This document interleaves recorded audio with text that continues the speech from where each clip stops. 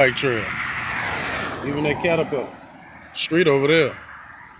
That nigga getting off the bike trail. Where you going, nephew? How you doing? Uh, Yo, trail over here, bro. Bruh, bruh. Coming back.